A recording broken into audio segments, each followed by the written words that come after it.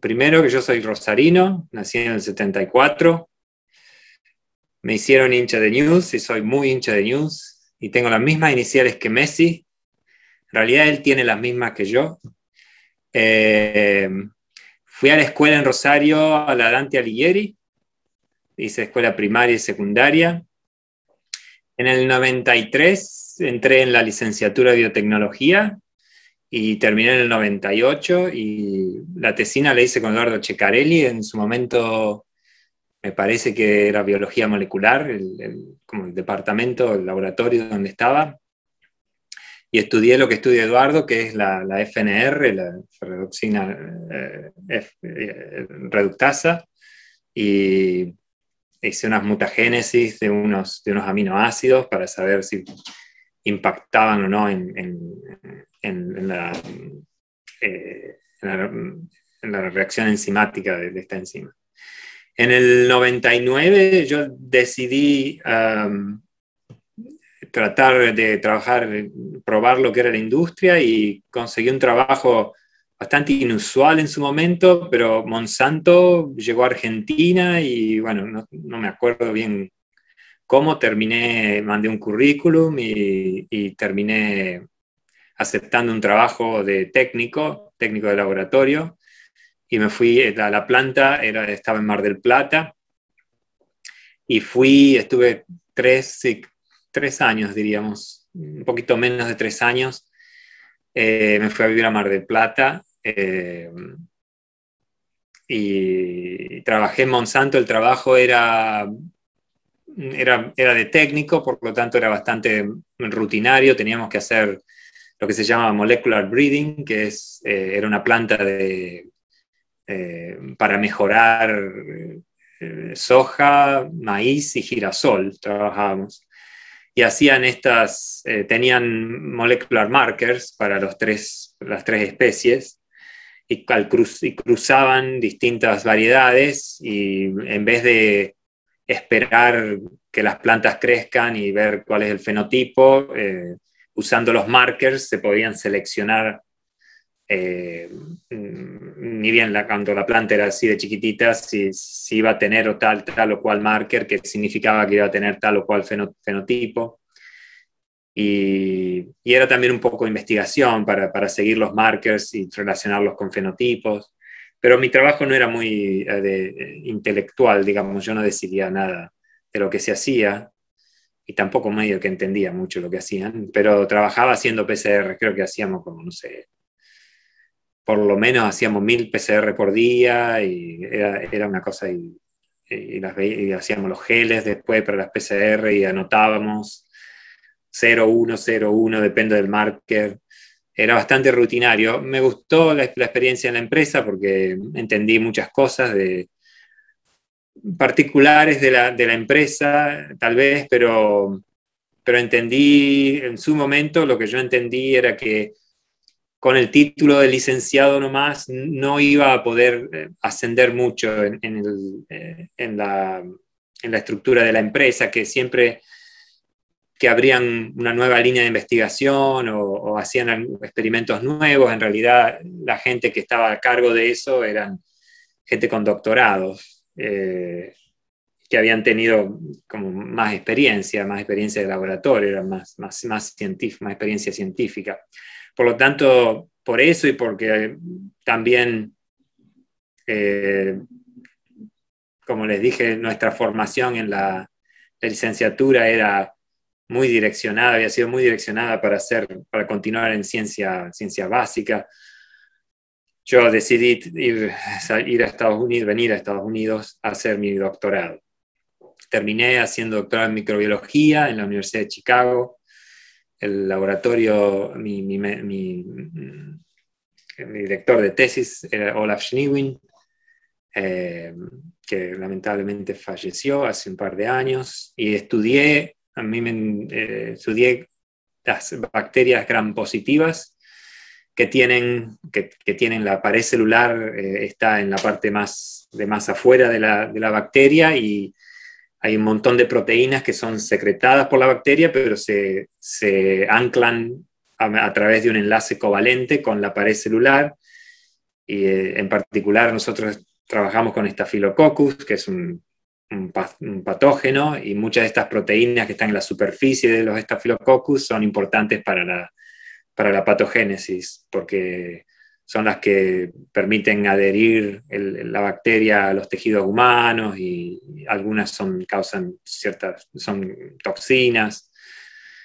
Y trabajando eh, con Staphylococcus, fue como que es lo, que fue lo más, eh, la decisión más importante a nivel científico de mi carrera, fue que yo cuando estaba terminando, en realidad en el dos, más o menos el 2006, 2006 2007,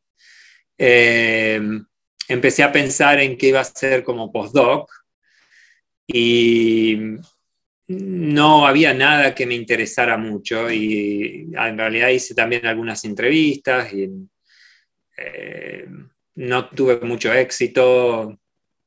La verdad es que sí, fue bastante limitado yo creo que mandé, mandé, no me acuerdo cuántos currículums mandé para hacer el postdoc, pero solamente tuve dos entrevistas personales, una que me aceptaban como postdoc, en la otra me dijeron que no. Y la que me aceptaban, qué sé yo, era en, Harvard, pero, pero me tenía que mudar a Boston, mi mujer tenía un buen trabajo en Chicago, eh, Boston es mucho más caro vivir en Boston que en Chicago, y el único atractivo realmente era que era en, Harvard University, que tiene un nombre muy especial, y, pero la verdad que el tema no era muy interesante para mí tampoco. Entonces empecé a buscar qué hacer. Si no, si no, eh, si no voy a hacer un postdoc a otro laboratorio, ¿qué puedo hacer con las armas con las que yo aprendí durante mi tesis? Y como yo sabía trabajar con Staphylococcus eh, y había oído de que Mm, a través de un a través de un microbiólogo que estaba ahí en el laboratorio donde yo hice mi tesis, que era un, microbiólogo retirado ya, eh, que, eh, su primer estudiante también había sido argentino, Eduardo Groisman, que ahora trabaja en Yale University. Y mm, tal vez por eso quizás no, nunca lo sabré, pero él me hablaba siempre de cosas y como era una persona que ya estaba jubilada, leía mucho y una vez me comentó de, los de CRISPR, que había, y que eran lo que, lo que en ese momento eran los, eh, los eh, estudios bioinformáticos, eh, es decir, gente que había en esa época, más o menos en el 2000, a partir del 2002, 2003, con la cuestión del Next Generation Sequencing, eh, se, estaba, eh, secuenciar genomas bacterianos era cada vez más común, entonces eh, se, estaban acumulando muchos genomas y el estudio así de los, de los genomas de bacterias de, ese estudio de los genomas de bacterias, eh, eh, había ciertos eh, grupos bioinformáticos mm, descubrieron así de alguna manera CRISPR. CRISPR es un, locus de las bacterias que, tiene, que son secuencias repetitivas. Lo que pasa es que y entre, son las, secuencias repetitivas son de aproximadamente 30 nucleotides, nucleótidos.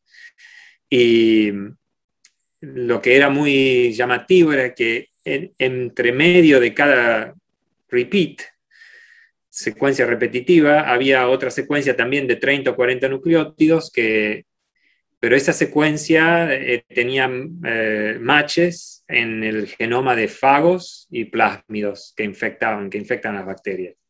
Entonces se había propuesto que era, podía llegar a ser algún un sistema que, que interfería de alguna manera con la infección de bacterias a través de la infección de fagos o la, transferencia de plásmidos a bacterias. Y se me ocurrió probar, se me ocurrió lo que yo hice fue mm, buscar si había CRISPR en Staphylococcus y encontré una cepa que tenía CRISPR. Eh, y la predicción era, tenía una de estas secuencias que este, era igual a la secuencia de un plásmido, que es un plásmido de conjugación. Entonces lo que decidí fue testear si este, este, realmente este, este locus, este CRISPR locus, era, realmente prevenía eh, la conjugación de este plásmido o no. Y bueno, el resultado fue que sí. Y entonces con eso, eh, eso bueno, a mí me, gustó mucho el proyecto. Había, en realidad, después en el 2003, yo estaba haciendo los experimentos, en el 2007 se publicó la primer, el primer paper experimental de CRISPR que demostró que, que, que CRISPR eh, previene infección eh, de fagos en bacterias.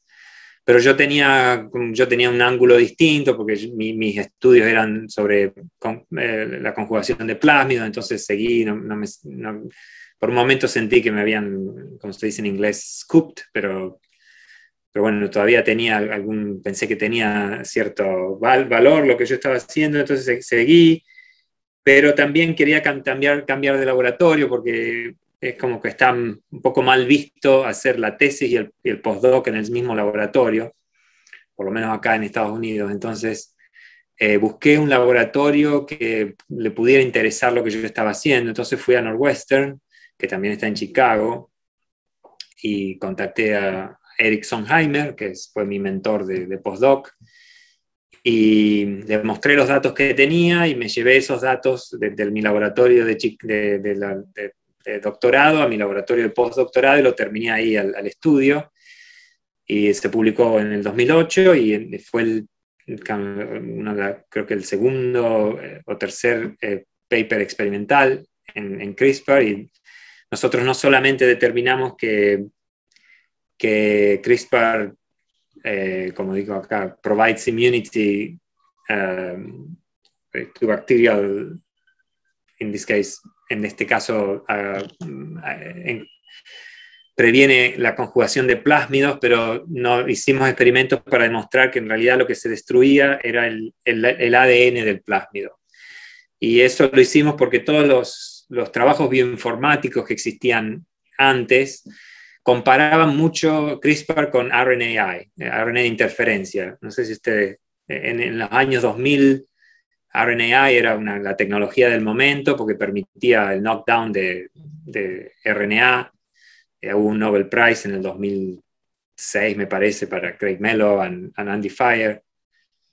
Y, y, RNA no está, no hay, no la maquinaria de RNA no está en bacterias. Entonces, como que los bioinformáticos habían, la, predicción era que el missing link era CRISPR, que CRISPR eh, proveía, digamos, el mismo, la misma función. Entonces, si funcionaba igual que RNA, RNA es, eh, destruye eh, RNA, entonces decían que CRISPR destruía RNA y de esa manera podía proveer inmunidad a las bacterias. Y entonces lo que nosotros descubrimos era que no, que era el DNA. con eso, bueno, después publiqué algo más y con esos dos papers me presenté para posiciones de, lo que dice jefe de laboratorio en universidades y finalmente acepté el trabajo en Rockefeller, en Nueva York, en el 2010. Y, desde ahí es, que estoy aquí en Rockefeller. Desde entonces el otro hecho importante, digamos, en mi carrera fue que nosotros cuando publicamos en el 2008 que CRISPR destruía ADN, terminamos el paper diciendo que esto sería tendría mucha, una gran aplicación, podría tener una gran aplicación biotecnológica porque eh, cada vez que se puede cortar o destruir ADN de manera específica, en una secuencia específica, eso se puede usar para muchas cosas, y por, ese, por esas conclusiones que yo había escrito, eh, Fang Zhang, que eh, está en el Broad Institute, me contactó y me dijo si quería, eh, quería colaborar con él para trasladar CRISPR de, bacterias a células humanas. Y trabajamos con Fang en 2013, sacamos el paper que fue el primer paper junto con otro de George Church, que fue la primera vez que CRISPR se transportó a células humanas y se demostró que se puede hacer gene editing con CRISPR. Eh, si bien yo no me dedico a la, tecnología, eh, siempre a mí me interesa la cuestión de las bacterias y cómo usan las bacterias CRISPR y los mecanismos, los distintos mecanismos que CRISPR en realidad, CRISPR-Cas9 es solo uno de más o menos 20 diferentes tipos de CRISPR y nosotros en el laboratorio estudiamos, tratamos de estudiar todos estos diferentes eh, sistemas CRISPR. Eh, pero si bien mi interés es eh, con, la cuestión de, cómo funciona CRISPR en bacterias, obviamente que haber colaborado con FAN y haber sido uno de los primeros en, realizar gene editing en células humanas es algo que, eh, como, dije, muy importante en, mi carrera porque finalmente creo que si bien CRISPR es muy interesante y muy importante para el mundo bacteriano, la, la trascendencia que tuvo en, la edición genética es lo que, bueno, es lo que lo hace más famoso y es lo que eh, eh, es, algo muy importante también. Y eso, digamos, en, cinco minutos, esa es ah, mi carrera. Lo que yo quería hacer era darle, yo, eh, darle, tratar de responder la mayor cantidad de preguntas que ustedes tengan de lo que quieran, de ciencia, de carrera, de, de lo que fuere, de no de news, porque no andamos muy bien de news. Este, pero pero lo, estoy a su disposición. Buenísimo. Si alguien quiere hacer alguna pregunta, quieren ir levantando la manito. Si no podemos arrancar, Mati, con las que ya nos habían hecho en Instagram. Podemos leer alguna de ahí. Eh, una pregunta que se repetía bastante era eh, ¿por qué el doctorado en Estados Unidos o por qué en el extranjero? Claro. Sí, eh, si es mejor, por qué y todo eso.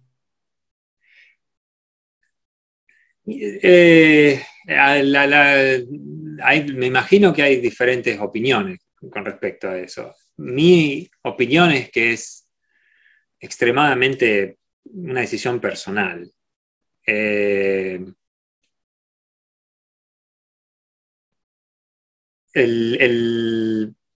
si, uno realmente quiere ser científico, puede ser científico en Argentina, bueno, no en todo, en cualquier lado, porque hay lugares que no tienen ningún tipo de infraestructura, pero en Argentina sí se puede y acá en Estados Unidos también, entonces no, no es que no, no, considero que, sea absolutamente necesario hacer el doctorado afuera. Eh, lo que tiene afuera es que es un, ciertas cosas son más fáciles o tienen, digamos, más disponibilidad económica y otro tipo de, eh, de infraestructura y de, que, hacen que las cosas sean un poco más fáciles y uno pueda hacer más. Eh, esa sería, digamos, la... En mi caso particular, yo quería, eh, quería explorar, eh, vivir afuera y que es un poco normal también a, esa edad. por lo menos fue para mí, digamos, uno no tiene tantas no está tan arraigado todavía, no tenés familia y esas cosas, y entonces eh, te podés mudarse al exterior, no es tan complicado, es como una aventura y eh, tampoco es permanente porque el doctorado dura cinco o seis años y después uno puede decidir si vuelve, si se queda, si... Eh, yo creo que en su momento para mí fue una decisión más de, de la edad de, de, de, hacer una aventura. Y totalmente, creo que eso debe pasar a la mayoría, que bueno, se recibe y dice, bueno, quiero salir, ver otro país, cómo es la vida en otro, con otra cultura. Claro, eh, depende también, por eso digo que es una decisión personal, porque también hay, yo conozco otros mis amigos, no le interesaba eso, porque no, querían estar lejos de la familia y querían quedarse en, Argentina, en Rosario, y no tenían interés en, esa cuestión de que yo, lo que, lo que yo dije de, la aventura o de la, exploración.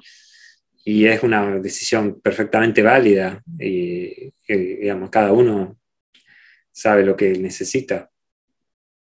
Pero sí, también sí es verdad que las, al, haber hecho, yo hice mi tesina en Rosario y trabajé en ciencia en, Monsanto, en, La Plata, en Monsanto, una empresa que tenía dinero para, digamos, para hacer investigación, pero aún, aún así con dinero y todo hay que importar todo, hay que importar, todo se compra afuera, por lo menos en, esa época.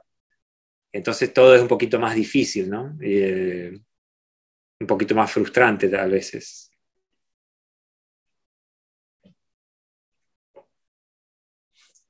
Vi una mano, ah, sí. Sofía. Hola, sí, ¿cómo va? Bueno, primero felicitarte porque me parece increíble eh, que nuestra facu tenga un, investigador de tu nivel y la pregunta es, eh, si bien, digamos, conocemos tus inicios en CRISPR, quería saber, digamos, hoy cómo está el tema en tu laboratorio y qué están estudiando. Nosotros eh, seguimos estudiando cómo las bacterias usan CRISPR. Como dije, eh, yo no expliqué mucho de CRISPR porque, mm, no sé, no, quiero como perder tiempo y que a, lo mejor también muchos de ustedes saben que es, una nucleasa que corta ADN usando una guía de RNA. el otro, mm, les tengo que pedir perdón que mi, mi mi castellano en general, pero en particular científico, es un desastre, ya me olvidé de todo, ya no, puedo hablar. Eh, pero bueno, usa una, me imagino que le dicen ARN guía, ¿cómo le dicen? RNA guide. ARN guía, ok.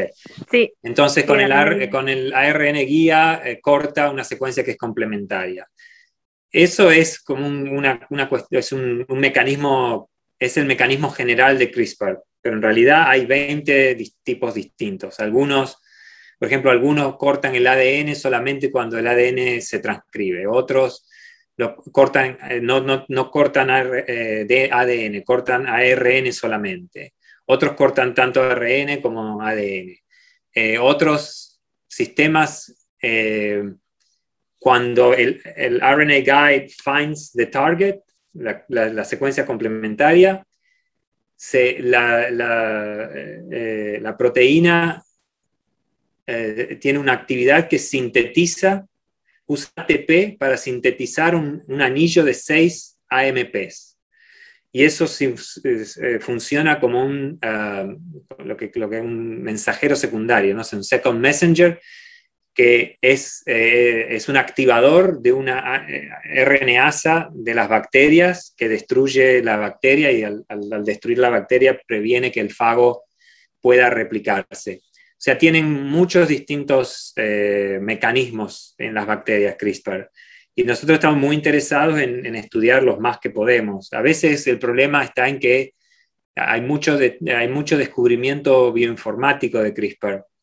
Entonces, te dicen que sí, hay un CRISPR system, un sistema CRISPR completamente nuevo, pero está en una arquea que, que, nunca nadie ha podido cultivar y que solamente se sabe la secuencia de ADN. Entonces eso se nos hace un poquito difícil a veces estudiar todos los sistemas porque algunos son realmente imposibles de traer al laboratorio. Nosotros siempre tratamos, por ejemplo, poner uno puede sintetizar el ADN que se, que, se secuenció y ponerlo en, en, Escherichia coli o ponerlo en, nosotros lo ponemos Staphylococcus y ver si es un sistema de expresión heteróloga, digamos, si funciona. Eh, pero hay veces que eso no funciona porque, bueno, si, si te toca una bacteria que es hipertermofílica, todas las proteínas están este, preparadas para funcionar a 70 grados y si yo lo pongo en E. coli, y, cola y si la pongo en a 70 grados se me muere, entonces no, nunca lo voy a poder hacer.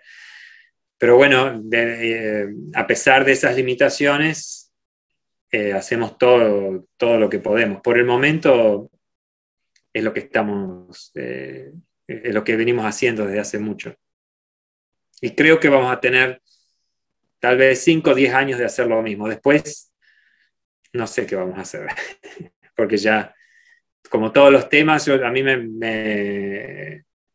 yo, bueno, en, cierta manera, yo, a mí me, como es como que yo soy un pionero del CRISPR Field, pues soy uno de los primeros que hizo experimentos con CRISPR y por lo tanto este, tuve acceso a un montón de, cosas antes que, mucha gente y, por lo y eso yo lo capitalicé bien porque conseguí promoción y qué sé yo, acá en Rockefeller ya soy profesor y también me dieron, eh, me dieron funding, eh, ¿cómo se dice funding en castellano? Subsidios de HHMI que son muy, muy generosos. Eh, pero el, el Fields está, ya es cuando yo, digamos, los primeros años míos era, era, un, era un, campo de ciencia que estaba en su trayectoria exponencial. Ahora se está, está llegando a una meseta, entonces se hace cada vez, cada vez tenés que hacer estudios más detallados y son más difíciles y eh, eso le pasa a todos los campos de la ciencia. Entonces, por eso digo que no sé muy bien qué vamos a estar haciendo dentro de 10 años. Tal vez tenga que encontrar otra cosa para hacer. Bien, Juan, ¿querés preguntar? Después leo lo que hay algunas preguntas en el chat también. Sí, gracias, bueno, Luciano, por, la presentación. Mi pregunta, bueno, tenía dos. Una era la que, la que preguntó Sofía, de dónde, hacia dónde estaban dirigiendo la investigación ahora. Y la otra, cronológicamente, es anterior. Entre tu transición del doctorado al postdoctorado, comentaste que nada, no, no tenías interés en algún tema particular, eh, y bueno, quería ahondar un poco ahí si, tenías, si, te había llegado alguna decepción, digamos, del mundo científico en algo, si era una cuestión de, temas, qué es lo que vos te esperabas, lo conseguiste. Y como segunda pregunta, si alguna vez pensaste volver a la industria después de haber terminado el doctorado. Sí, la, parte del postdoc fue, frustrante y fue un poco decepcionante también. Eh, en el sentido en que un poco, eh, un poco, hay, hay, cuestiones acá, por lo menos acá en Estados Unidos hay cuestiones un poco de, de pedigree. ¿Se dice pedigree en castellano? No sé. Pedigree. De, del lineaje. Eh, mucha gente es como que ya está destinada a, a trabajar en buenos laboratorios porque, porque van a la universidad, hacen la universidad en el MIT, después el, doctorado en, en, Stanford y después el postdoctorado en, Harvard. Ahí hay un montón, eh, digamos, eso, eh, y yo no tenía nada de eso. Entonces, eh, eso fue, la Universidad de Chicago es una buena universidad, pero no es, digamos, no es Harvard, no es MIT, no es Stanford, no tiene ese nombre. Eh, también yo venía de Argentina y nadie con, la verdad que nadie conoce nada de Argentina. Entonces yo no tenía, digamos, ese, esa facilidad que yo me daba cuenta que tenía otra gente que solo por, por el lugar donde habían estudiado, no importa si lo que habían hecho era bueno o malo, eh, eh, un poco por, por currículum nomás tenían acceso a, a diferentes posibilidades, digamos. Eh, y eso fue un poco decepcionante, pero a la vez también fue lo que yo estoy, finalmente fue una gran suerte, ¿no? Porque si no, yo, si esa situación me obligó a pensar en hacer algo que me interesara, que sea solo, que, que, que yo no, no, pues yo siempre medía, a veces uno mide cuando hace decisiones de carrera, tiene que medir, ok, sos, este, suponete que a vos te da un, este, tenés un tema súper interesante para estudiar, pero es en una universidad que no conoce nadie, versus hacer un postdoc en Harvard, pero en un tema que no te interesa mucho. Entonces, es difícil, una decisión, es una decisión de carrera difícil porque todo el mundo sabe que al tener, como les decía antes, si vos tenés tu currículum que hiciste el postdoc en Harvard, vas a tener como más acceso, qué sé yo, más acceso a otras oportunidades. Entonces, a mí se me cerró eso, entonces tuve que decidir exclusivamente en lo que a mí me parecía que era muy interesante y además quería también tenía que ser algo nuevo, porque no podía estudiar algo que, que ya había 30 años de estudio porque no iba a llegar a ningún lado. Entonces me obligó a pensar que los científicos a veces supuestamente tenemos que somos muy buenos pensadores, pero no es verdad. Nadie tiene tiempo de sentarse a pensar. Me obligó a sentarme y pensar realmente qué quería y, igualmente fue una cuestión muy azarosa porque yo decidí hacer esto y, y funcionó y por eso tuve el camino que, tuve. Podría no haber funcionado y bueno, tendría que haber decidido hacer otra cosa. Pero, pero bueno, pero en, general la, decisión finalmente de estudiar CRISPR tan temprano, cuando, porque sí, había estudios bioinformáticos, pero mis propios jefes de, de, de, de, tesis, cuando yo le dije que iba a estudiar CRISPR para doctorado, me miró como diciendo, ¿y por qué vas a desperdiciar tu carrera con esto? porque nadie sabía que, si iba a funcionar, si no iba a funcionar. Y mira que no, no lo digo, eh, Olaf, que es mi, director de tesis, fue, es la mejor persona que yo conozco en, ciencia. Este, pero bueno, era un poco la, es un poco la visión de mucha gente que, bueno, que cuando hay algo nuevo y desconocido, y no sé, qué sé yo, lo que puede pasar. Entonces, más vale estudiar algo que, que, patogénesis bacteriana, que sabes que va a haber subsidios y que es algo más común y qué sé yo. Yo, digamos, tomé una, ruta un poco a lo desconocido y bueno, funcionó. No quiero, y que es bueno eso, es, un buen ejemplo de que puede funcionar. Eh, tu otra pregunta era, ah, la industria.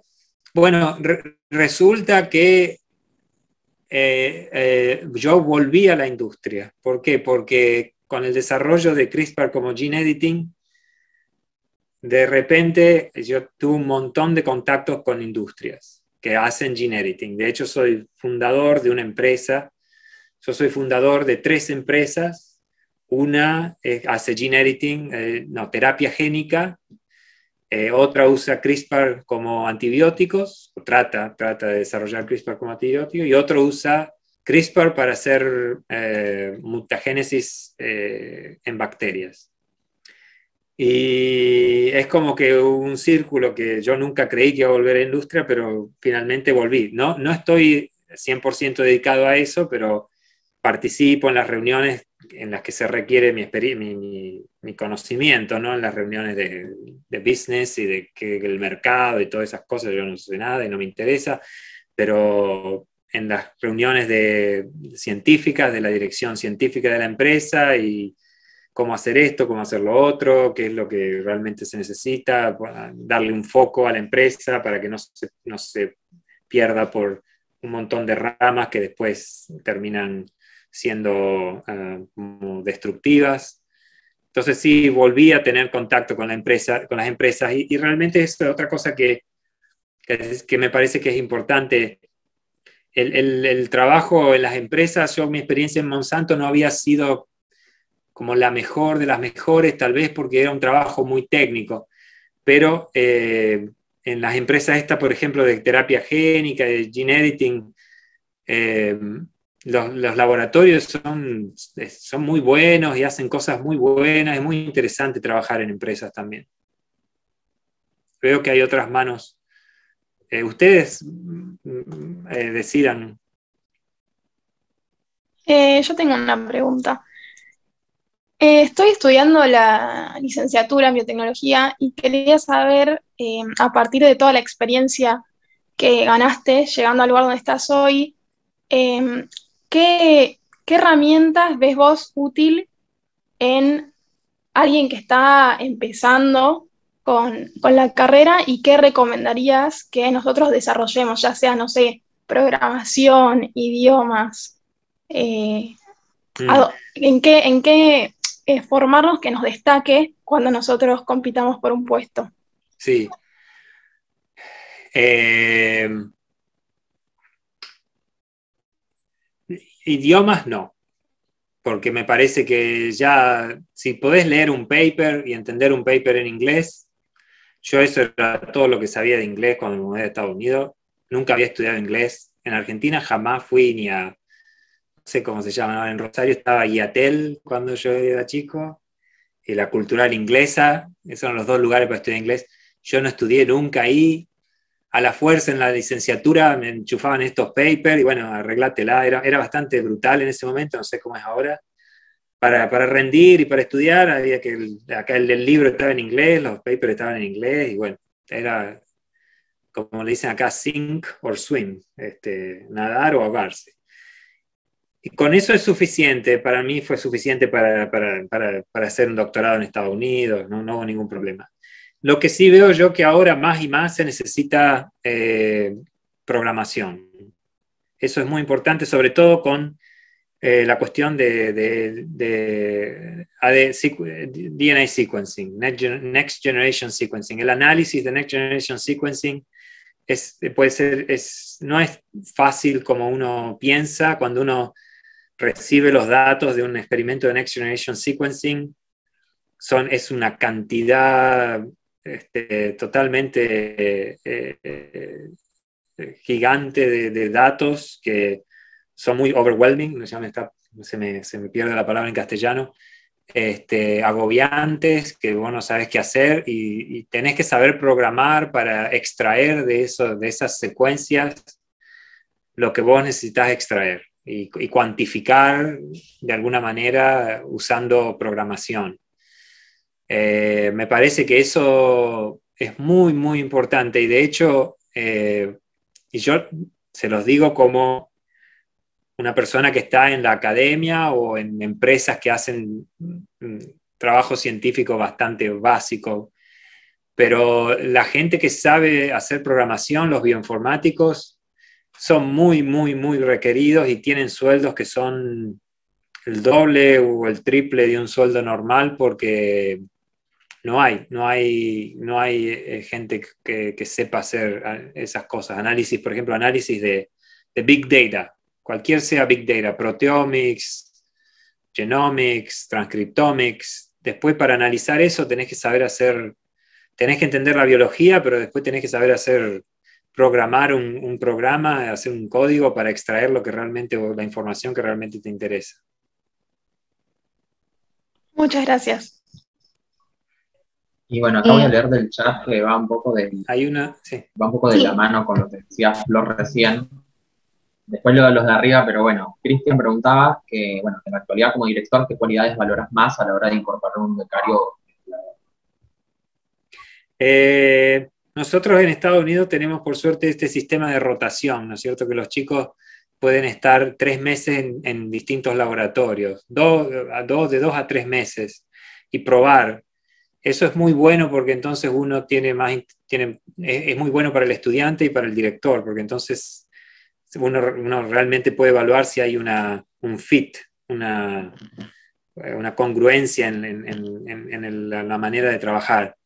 Eh, yo creo que lo, lo, más importante que en ciencia y en lo que yo hago es que la persona tenga una buena lógica, que, no importa, a mí no me importa mucho si los experimentos salen bien o mal, porque finalmente los experimentos a todo el mundo le, cuestan. Eh, es si, ante un, determinado resultado, eh, siempre hay algo que, ok, uno tiene un resultado y hay que hacer el, experimento siguiente. Eh, para eso hay que tener una lógica, una buena lógica, porque si no uno se va en, en ciencia, se va para cualquier lado. Entonces, yo lo que trato de evaluar es en, estas situaciones en lo que el, estudiante tuvo un resultado, qué es lo que decide hacer con, los datos que obtuvo de ese resultado, cuál es el siguiente experimento. Y eh, además es una parte que yo evalúo, pero también es parte de mi mentorship, es parte de ser mentor, es enseñarle a la gente lo que yo pienso al menos de cómo se, cómo, cómo se avanza de un paso a otro pero cuando no los conozco, digamos, es un poco eh, lo que evalúo es eso, es que tenga una buena lógica.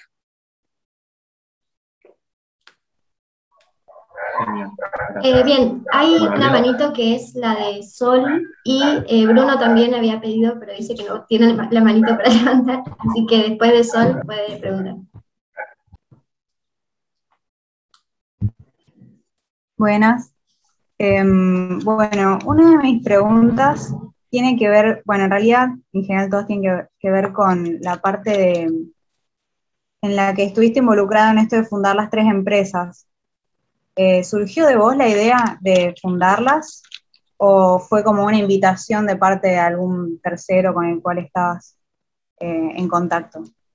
Sí, en, dos casos fue una invitación. Y en esos casos es muy fácil porque uno solamente acepta y no tiene nada que hacer. En otro caso fue eh, eh, un postdoc muy, muy talentoso que me dijo, él, estaba trabajando, encontró estos resultados que CRISPR se puede usar para matar bacterias y dijo, esto puede tener una salida tecnológica tipo para mm, fundar una empresa, vamos a hacerlo, y bueno, entonces lo hice con él. En ese caso fue muy difícil, es interesante, pero fue muy difícil porque cuando uno lo hace desde cero, eh, tenés que contactar a inversores, explicarle lo que estás haciendo. Eh, y, este, eh, es, todo mucho más a, pulmón. Pero eh, bueno, es, una experiencia. Bien, sí, eso apuntaba mi segunda pregunta, digamos. En el caso en el que uno, digamos, en el que empezaste la empresa de cero, em, tuviste como que involucrarte en el 100% y buscar eh, desarrollar cada una de las áreas de este nuevo emprendimiento, digamos. Bueno. Sí, por suerte también mi postdoc eh, es como que él, bueno, él eh, quería terminar el postdoc y, dedicarse a eso casi al 100%, entonces eh,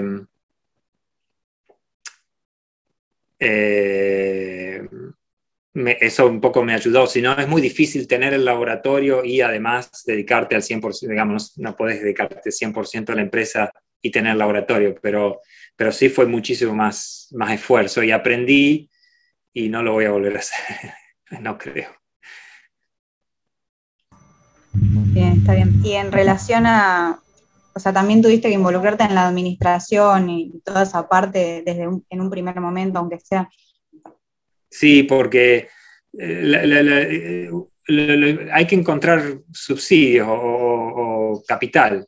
Una vez que tenés capital, después es más fácil porque con el capital contratás la gente que necesitas para que hagan las cosas que saben hacer, que yo no sé. Eh, pero el, primer, los inversores también te ayudan porque ellos, si yo no tengo ni idea de, de, una persona que maneje, digamos, el mercado y qué sé yo, los inversores ya generalmente tienen ideas y te dicen, bueno, yo te voy a dar la... Mm, eh, no, es que sea una condición, pero un poco te dicen que te van a dar la plata y les gustaría que tal o cual persona esté involucrada, que son gente de, finanzas. Y entonces eh, se, va, se va haciendo un poquito más, más fácil, pero el, primer paso, que es encontrar que, te den plata para empezar la empresa, es complicado. Hay, eh, eh, también hay que, tengo que decir que en Estados Unidos es, no sé cómo en Argentina, pero en Estados Unidos es más fácil porque, me imagino que es más fácil porque las universidades tienen lo que se llama espacio, que les llaman incubadoras acá eh, para empresas, en las cuales uno puede alquilar, pagarle a la, universidad un alquiler por un pequeño laboratorio. Entonces, eh, eso facilita mucho las cosas porque ni bien tenés plata, ya podés contratar una o dos personas, eh, pagarle al alquiler a la universidad y arrancar. Eh, eso facilita mucho las cosas. Yo conozco gente que a veces el espacio es limitado, obviamente, y a veces el espacio no está disponible. Yo tengo compañeros acá en Rockefeller que han tenido, no han podido usar la incubadora de Rockefeller y entonces tienen que alquilar un lugar, una, planta, un, galpón o lo que fuera en New York para, hacer, para empezar un laboratorio, es, como un, es un poco una situación muy complicada. si uno tiene que hacerlo de 000 es, es complicado. Bueno, y por último, ah. por último ah, te conté. Em, ay, se me fue. Bueno. Ah, que si actualmente como que pudiste desligarte un poco de, toda esa parte o si todavía estás bastante aferrado a, tener que involucrarte en la administración y todo eso. No, no, ahora por suerte no, ya es al principio y ahora eso fue, pasó hace como fuera ocho años más o menos. Bien, gracias. Hola Luciano, ¿qué tal? Eh, gracias por la charla y, y felicitaciones a Matías y a Lea por eh, por, organizar el evento y por haber que su emprendimiento haya cumplido un año. Este, felicitaciones por eso. También mis preguntas son dos. Una es eh, cuán desarrollada está la industria de la terapia génica, eh, por lo menos lo que conocés vos de allá. Y dentro de esa misma pregunta, ¿qué, qué posibilidades tiene un, un argentino, un latinoamericano de, entrar como empleado en, una industria de terapia génica estadounidense. Y la segunda pregunta ya es más del índole personal, pero bueno, ya que estás acá, aprovecho. Eh, yo estoy haciendo mi doctorado con Diego de Mendoza y estamos por, por incorporar la tecnología de CRISPR en C. elegans. Bueno, eh, yo estoy aprendiendo la teoría y demás, pero estamos por estamos viendo a qué laboratorio ir a aprender, eh, que la sepa desarrollar bien en este organismo. Y, bueno, eh, si tenías idea, Diego tiene, eh, de hecho, te había mencionado en su momento como posible contacto para que nos recomiendes un buen laboratorio de, de CRISPR en C. Bueno, vamos por, la cuestión del tiempo, lo, del C. elegans, mandame un email, así yo me acuerdo y yo, te respondo por email. Eh, eh, conozco laboratorios, yo puedo pensar además, eh, pero hay un montón. Y, ¿Los chicos tienen tu email? Sí, está, en la, página. Está en la página de Rockefeller. Si vos me buscas en, en Google, encontrás mi email. la otra es las preguntas de la, terapia génica es algo muy, muy difícil, extremadamente difícil. Eh, eh, lo que pasa es que, y, no, y CRISPR no empezó terapia génica desde hace 20 años, en los 90 también, más de 20 años, que se empezaron a usar adenovirus, lo mismo que, tiene la vacuna de, la Sputnik, ¿no? Con, eh, para, para para incorporar nucleasas que, o, interrumpir genes y tratar de hacer terapia génica. Eh, lo que tiene CRISPR es que es, tan fácil, tan fácil de usar y generó tal revolución que le dio un, empujón muy grande a la terapia génica. Pero las limitas, lo que, lo que eliminó CRISPR es la limitación de cortar o atacar eh, cualquier gen que uno, se, que uno quiera curar el principio de la terapia génica es corregir mutaciones que son eh, deleterias eh, para, la, salud de la persona, ¿no es cierto? Entonces, antes era muy complicado dos cosas. Primero, específicamente curar esa mutación o revertir la mutación. Y la otra es llegar a las células y, que, del órgano que está afectado por esas mutaciones y eh, eh, hacer que ese órgano reciba los, eh, reactivos que se necesitan para revertir las mutaciones. La primera parte fue solucionada con CRISPR. Con Cas9 se puede mutar y arreglar cualquier secuencia, para ponerlo de manera bastante sencilla. Pero el segundo problema es de cómo de, delivery, le decimos nosotros, cómo llevar Cas9 a, a, ciertas eh, células es muy complicado.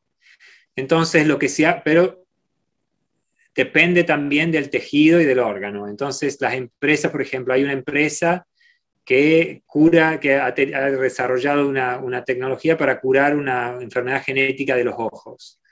Entonces eh, es fácil porque es una gota que te cae en el ojo, tenés acceso al, órgano, eh, es, un órgano, digamos, externo y, es fácil de, llegar. La empresa que yo trabajo tenía, se juntaron expertos que antes habían trabajado con eh, eh, tecnologías de, delivery de RNAi en el, hígado. Y usan unos, unas, unas pequeñas eh, lipophilic vesicles, vesículas de, lípidos que son chiquititas y tienen la tecnología para meter Cas9 adentro y con, con, lo que se necesita para, para hacer edición génica. Entonces eso, eso, por ejemplo, es una tecnología que está, anda bastante bien porque estas Además, a las, a, las, a las, vesículas se le pone como proteínas que las dirigen mayoritariamente al, hígado, entonces está todo más o menos funciona.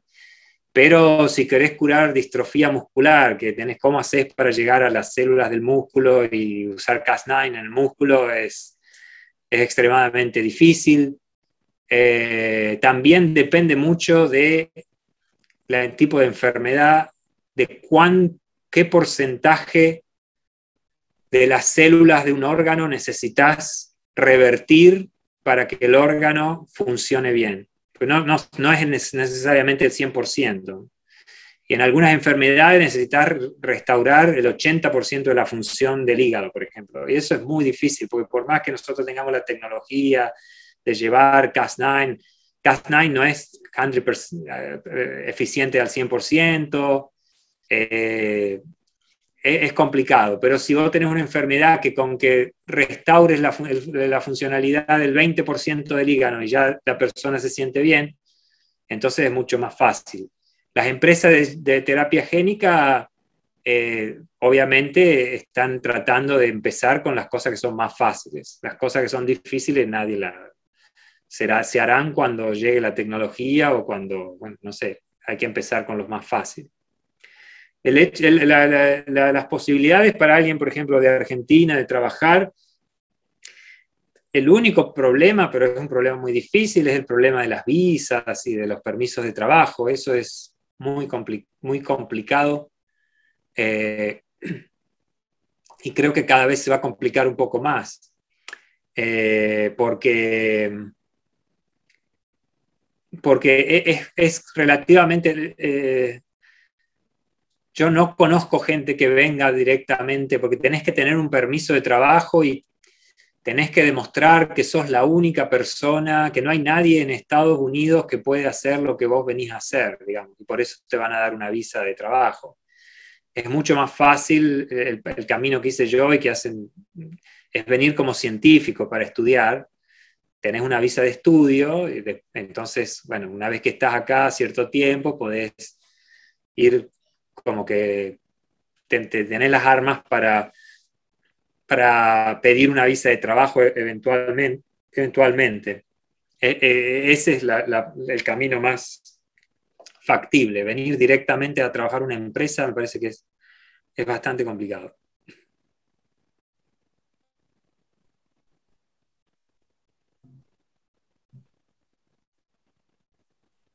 Leo en el chat o lo lees No, lee, lee. Hay varias preguntas. Dale, es mi pregunta. Eh, a la hora de los que se quieren ir afuera a hacer un doctorado, surge mucho la duda entre Europa o Estados Unidos. ¿Vos elegiste Estados Unidos por algo en particular? ¿Porque surgió? Esa es una buena pregunta. A mí en su momento yo tenía oportunidad de ir a, Alemania, a un lugar que se llama EMBL en Heidelberg. Eh, es, otra cosa que es muy personal. Eh, en, cuestión de ciencia, hay buenos laboratorios eh, tanto en Europa como en Estados Unidos. Estados Unidos es más, más abierto a inmigrantes, mucho más abierto a inmigrantes.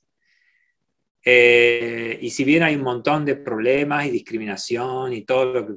Es un país en el cual hay oportunidades para los inmigrantes. Eh, Europa es más complicado, me parece. Las estructuras de los laboratorios están hechos eh, en donde hay un jefe de laboratorio y después hay muchos subjefes y en Estados Unidos no, cada, los laboratorios tienen, son independientes unos de otros, no, no, es mucho más fácil tener tu propio laboratorio en Estados Unidos, me parece, que en Europa, sobre todo si no sos ciudadano europeo. Y, hay lugares en Europa que sí, que son, tienen los modelos de Estados Unidos, como el Max Planck Institute, el propio INBL, pero las universidades en Europa son bastante más eh, cerradas y anticuadas en ese aspecto. Eso es por lo menos lo que yo eh, me di cuenta. También me di cuenta que esto es una cuestión personal, que sí, que, que cuando yo vine a Estados Unidos, Estados Unidos era, había mucho más inmigrantes y todo era más fácil para los inmigrantes. En Europa parecía más,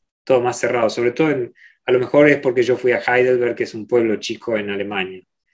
Estaba muy bien el laboratorio, todo bárbaro, pero después cuando querías hacer algo fuera del laboratorio, yo, todo el mundo hablaba alemán y yo no hablaba nada de alemán y no entendía nada. Eh, me asustó un poco por ese lado.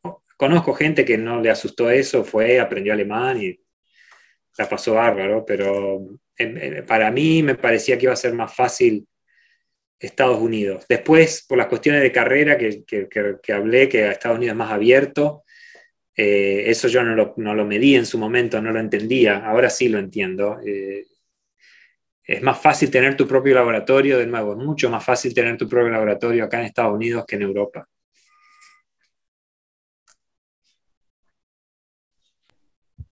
Bien. Después Franco preguntaba, bueno, esto más o menos lo respondiste, pero lo igual. Dice, en base a tu experiencia, ¿qué consejo podrías darle a un recién licenciado para proceder en el campo de la investigación?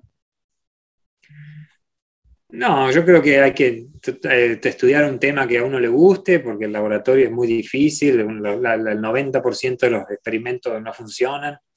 Si no, tenés, si, no realmente, si no realmente te gusta lo que haces, eh, se hace complicado. Y, tratar de ir a un lugar que, que hagan buena ciencia, digamos, que, sea ciencia de calidad. No en el tema específicamente, pero sino en, la manera de hacer ciencia, que, uno, que, que, se usen los controles que hay que usar, que no se hagan este, conclusiones que no existen y esas cosas. Eh, hay que divertirse, digamos, eso es lo que me parece. es, Eh, bueno, otra pregunta que hay es eh, que en su momento a CRISPR lo tenían como tema prometedor. Ahora en general, ¿por dónde dirías que se va a expandir la frontera del conocimiento?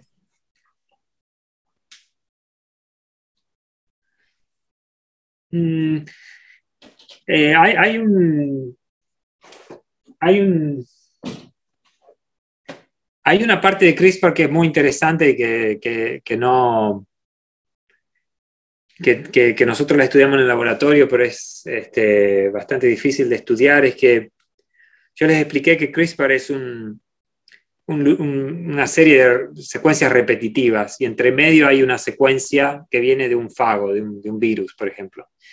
Lo que tiene CRISPR, que es completamente único, es que cuando viene, cuando la, la bacteria es infectada por un virus nuevo, algunas bacterias, no todas, pero algunas, son capaces de extraer una secuencia de 30 nucleótidos del virus y, e integrarlas como un nuevo espaciador, que le llamamos nosotros, entre dos secuencias repetitivas del CRISPR. Eso se llama, nosotros llamamos, llamamos adquisición de espaciadores.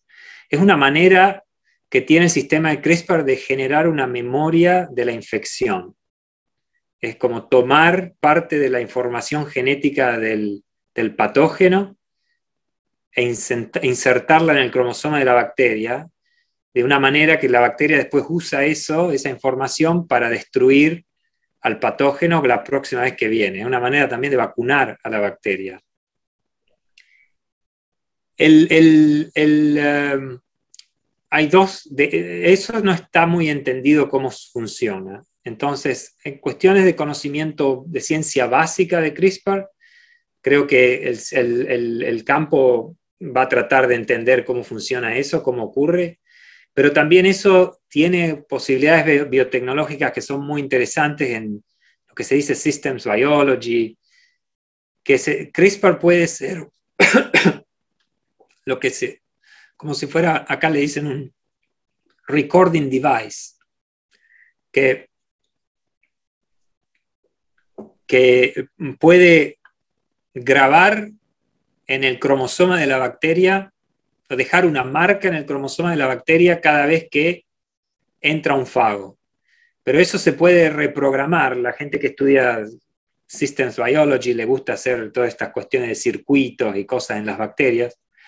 Pueden acoplar este sistema a, por ejemplo, cada vez que la bacteria, que el pH en el environment baja, en el ambiente de la bacteria baja, eh, puede acoplarlo para que mande una señal y que CRISPR puede adquirir una secuencia. Entonces, en el cromosoma de la bacteria queda una grabación, un record de lo que pasó en el exterior de la bacteria, por ejemplo. Hay gente que hace eso. Y eso me parece que es, puede tener muchas este, aplicaciones industriales y es cosas media de ciencia ficción todavía, pero pero es como una molecular recording, le dicen acá. Y es algo que se puede aplicar también de CRISPR, que todavía no está muy aplicado, desarrollado. Genial. Y una última pregunta que hay en el chat es eh, que en cuanto a la terapia génica, eh, ¿dirías que el delivery es un mayor cuello de botella que la adición en sí misma? Sí, Total, totalmente. Es, el delivery es completamente el, cuello de botella. Eh, sobre todo para ciertos órganos es, muy, muy difícil. El éxito de la, de la, técnica CRISPR es que la gente lo puede hacer, lo ha usado en, tissue culture, ¿no es cierto? En, ¿Cómo le dicen en castellano? Tissue culture, en célula de cultivo eh, células humanas que están en cultivo, que son de fácil acceso, que uno las puede transformar con un plásmido que tiene CRISPR, y de repente todos los laboratorios empezaron a hacer mutaciones de sus líneas celulares a cualquier cosa que querían hacer. Y eso fue lo que, digamos, lo que, lo que hizo que CRISPR se, eh, esté en todos lados, en todos los laboratorios de ciencias básicas. Pero después cuando uno lo quiere usar para tratar seres humanos, eso ya es, completamente distinto, porque las células no están en, la, Petri dish, están en, los órganos y es, muy complicado. Eh, bueno, muchas gracias. No sé si alguien más tiene una pregunta, si no, yo pregunto una última cosita y ya, si querés, te liberamos. Em, yo tengo, tengo más o menos 10 minutos más, después ya sí me tengo. Bueno, si alguien más quiere preguntar, que avise y bueno. Eh, mi pregunta era, eh, ¿conviene sí o sí al terminar la carrera de licenciatura hacer un doctorado? O sea, ¿te da más posibilidades eh, después si vos te querés ir al exterior o te parece que es lo mismo? Porque capaz si vos te querés ir al exterior recién licenciado o licenciada, no vas a tener las mismas posibilidades que teniendo ya el doctorado. Mm, eh, eh, es, una, es una buena pregunta. Si el objetivo es irse al exterior, yo creo que hay que probar en, todas las etapas. Yo probé antes y, y me funcionó y por ejemplo, acá en Rockefeller eh, aceptamos muchos estudiantes internacionales. Eh, es un poquito más difícil en Estados Unidos conseguir subsidios para estudiantes internacionales que para estudiantes americanos, pero, pero se puede. Digamos, yo fui a la Universidad de Chicago y bueno, eh, digamos que hay, las posibilidades están.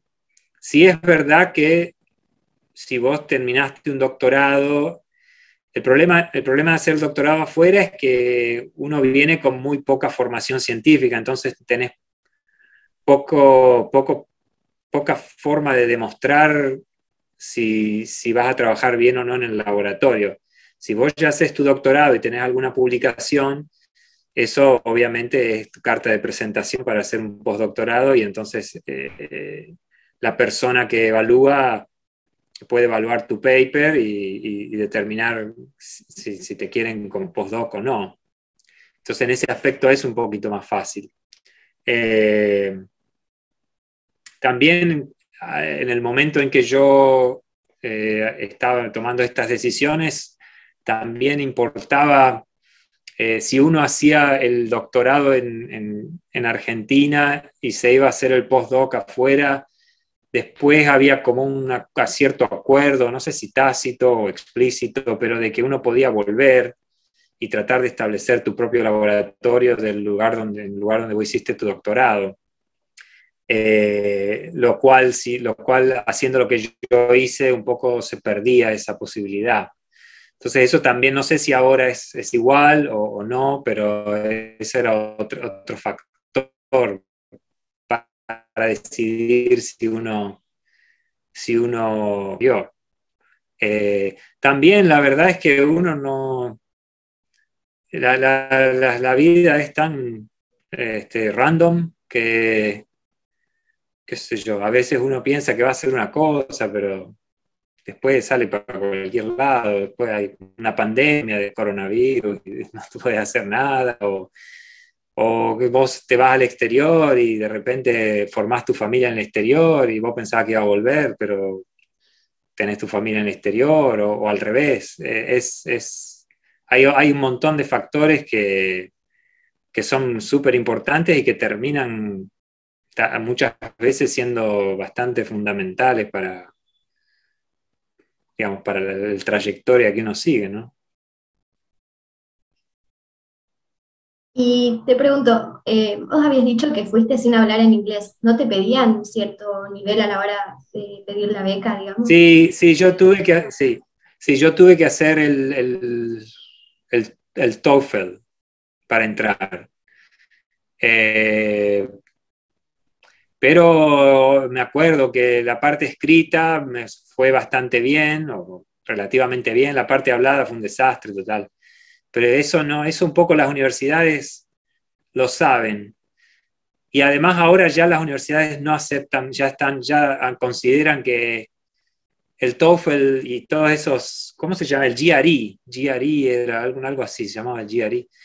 Eh, todas esas cosas son discriminatorias, porque la gente que tiene acceso económico y puede pagar un, alguien que te prepare, después eh, se saca mejores notas que la gente que no lo tiene, entonces finalmente es, un, factor que realmente no te dice mucho de la persona en sí, más que nada te dice del ambiente del que viene y ya, por ejemplo, nosotros acá en Rockefeller no requerimos absolutamente nada de eso y, muchas otras universidades tampoco, porque, por lo que te digo. Genial, ahí una tiene, pregunta. Eso iba a decir, tiene la manito arriba, así que la dejo. Gracias. Eh, estuvimos hablando sobre doctorados. Eh, quería saber qué opinabas acerca de hacer un máster. Y, y eso es, obviamente depende del objetivo que uno tenga. Eh, si uno quiere, yo realmente no, eh, no sé exactamente, en, mi época, digamos, si uno eh, quería entrar en la industria, tal vez si uno hacía un máster que realmente te prepara relacionado a algún trabajo de la industria que uno quería ir, era algo muy, este, muy práctico, digamos, porque no tenés que hacer tantos años de doctorado y, y conseguís experiencia que necesitas para que poder conseguir el trabajo de, eh, en la industria que vos querías.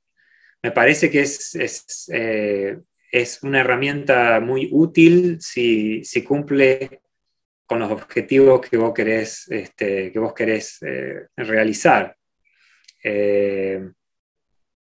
Ahora realmente no lo sé. Acá, por ejemplo, hay muchos chicos que vienen a hacer el doctorado después de hacer un máster, que es un poquito lo que yo estaba diciendo antes, que eh, al hacer un máster que no es, no es tan largo como un doctorado, uno puede demostrar experiencia de laboratorio eh, y entonces eso hace que hacia la persona como un candidato más atractivo para los, los PhD de acá de Estados Unidos. Entonces, por ahí también, eso es algo que te podría servir el máster si vos querés hacer un doctorado en Estados Unidos y te parece que no, qué sé yo, tratás de, mandar este, eh, pedidos de, aplicaciones, le digo, pero no se dice aplicaciones, se dice, eh, bueno, no importa. Y, eh, y, no tenés suerte, bueno, a lo mejor puedes hacer un máster, hacer cierta investigación, después vas a tener una carta de recomendación de tu trabajo en el laboratorio, y entonces eso demuestra no solo un interés en trabajar en un laboratorio, sino también tus habilidades en el laboratorio, y eso te, vas, te, puede facilitar hacer un, entrar en un programa de PhD de acá. Muchas gracias. Y para terminar, y ya te dejamos, eh, ¿el promedio te parece que es importante a la hora de pedir un doctorado?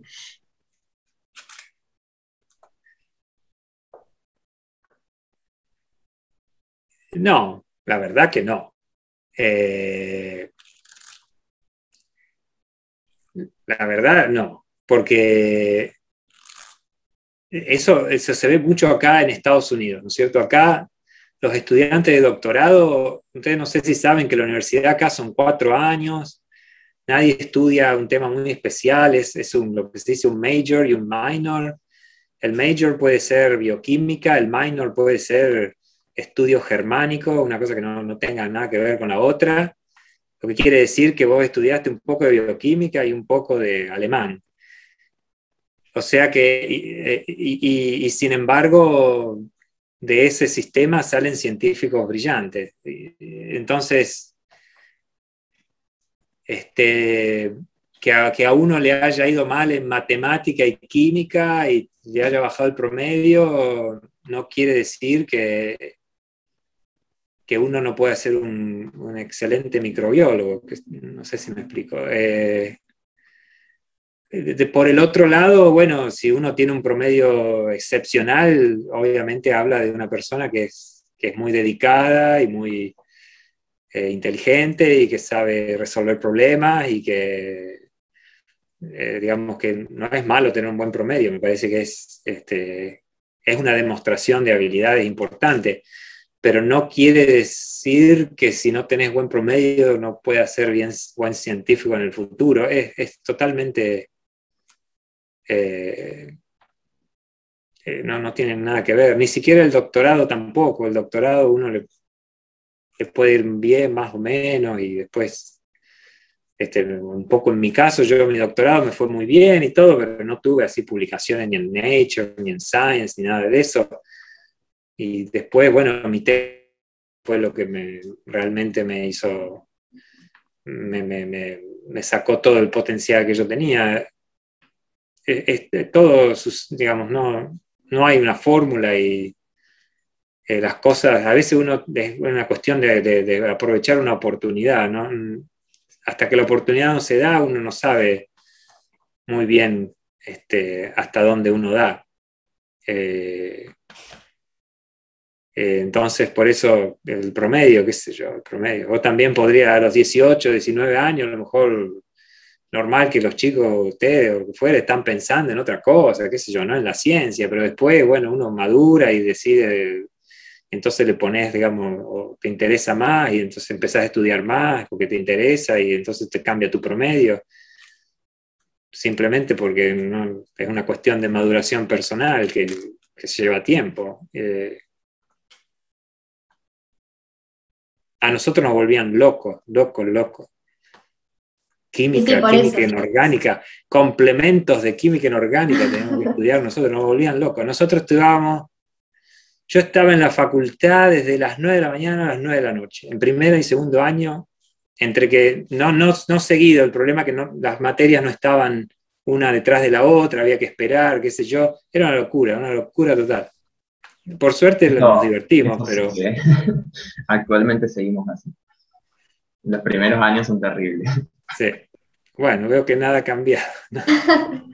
No, pero también eh, me parece importante eso porque no sé si cuando vos eh, ibas a la facultad era también así, pero como que te rex todo el tiempo los profesores o profesoras diciéndote no, porque si tu promedio no es así, eh, no vas a poder después. Y que es, es como yo digo que, que sí, finalmente el promedio es algo que uno puede mostrar en el currículum, entonces si vos tenés un buen promedio es algo, es algo bueno, sin duda que es algo bueno. Lo que no quiere decir es como, como me enseñó Bonacina. ¿Usted, Bonacina está todavía o no? No está más. En matemática es este, condición necesaria y suficiente. no es una condición suficiente, digamos, para que uno le, vaya bien. Eh, pero bueno, es, es, un poco, a veces es lo único que uno tiene, ¿no? Si es lo único que uno tiene, hay que cuidarlo. No está mal. Yo no quiero decirle a ustedes, no estudien porque no importa nada. Eh, sí importa. Pero si uno tiene un, uno puede tener la, trayectoria de puede ser muy variada, no hay, una sola, no hay un solo camino para llegar a un lado. Sobre todo, eso es, es creo que muy importante para cualquier cosa. Cuando uno es joven, hay muchas puertas, muchos caminos. Después sí se empiezan a cerrar, pero, este, pero a la edad de ustedes este, hay, muchos caminos, no hay que, hay que, no hay que desesperarse.